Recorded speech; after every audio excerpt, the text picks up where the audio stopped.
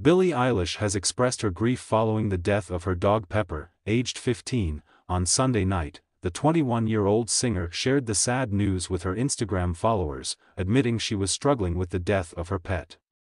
Along with a happy birthday photo gallery of the dog with Billie and his family, she wrote a heartfelt message. He said the dog was 30 years old at the time of death and said, Chili. The best friend of my life. See you sometime, pretty girl. Welcome to House of Celeb. Please subscribe and turn on the notification bell so you don't miss updates about your favorite celebrities. You lived 15 years, you damned beast. I love you.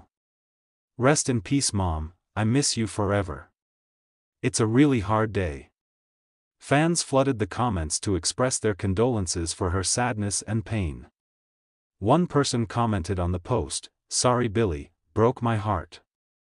Rest in peace, dear girl. I will miss you. Another person tried to comfort her by saying, I'm sorry. Sending you lots of love. I know how hard it is to lose them, but it reminds me that they are watching over me. One social media user's personal response to Billie's recent online post was, Sorry sending love to you and your little angel. She shared the same set of photos on her Instagram story, adding the captions Hi my angel, girl's best friend, and see you again. The singer's brother and musical partner Finneas, 25, posted a personal tribute to his pet on Instagram, writing, Sweet Pepper, our dog outgrew his mortal body at the age of 15.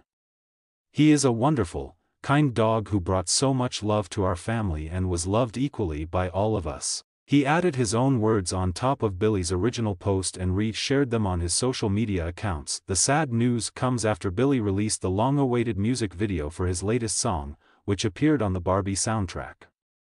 She showed off her retro blonde look in a new shoot for the emotional ballad What Was I Made For in the video, she wore a yellow 1950s dress and had a high hairstyle.